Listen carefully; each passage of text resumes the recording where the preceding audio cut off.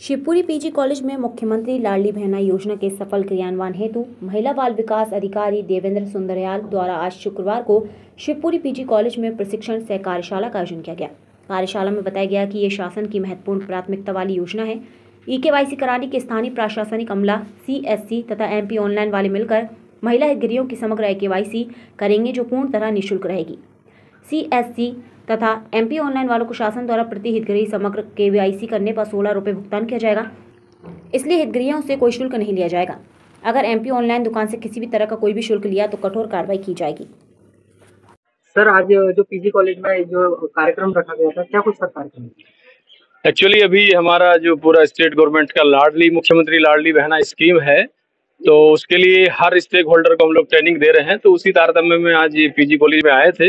यहाँ जो हमारे स्टूडेंट्स हैं, उनको ई के वाई सी कैसे कर सकता है कोई भी आदमी तो इन लोगों को मोटिवेट किया था कि अपने परिवार का और कम से कम एक बच्चा जो है, दस महिलाओं को जो पात्र महिलाएँ हैं, उनका ई के वाई सी कराएगा। तो हम लोग को चूँकि पूरा जो मोर कैंपेन चल रहा है, इसमें जो लाडली बहना स्कीम में एक हज़ार रुपया पर मंथ मिलेगा, वो पूरा आधार एनेबल्ड जो उनका बैंक अकाउंट है, उसमें जाएगा। तो उसी के लिए ई के वाई सी हंड्रेड परसेंट कराना ज़रूरी है।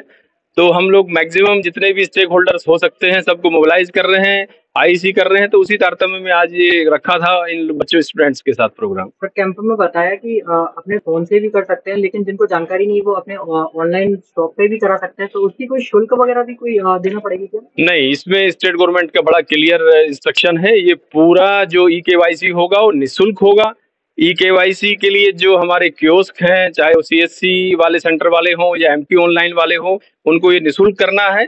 सरकार उन लोगों को जो है पंद्रह रुपया दे रही है जो उनके जो है खाते में आएगा। इसमें कहीं भी जो है किसी भी पात्र हितग्राही से कोई पैसा नहीं लिया जाएगा। ऐसा पाया जाता है तो सर क्या कुछ कार्रवाई आपके द्वारा की जाएगी? बिल्कुल ये गलत होगा और इसमें अगर कोई ऐसा केस मिलता है तो प्रशासन नियमानुसार इसमें कार्रवाई करेगा।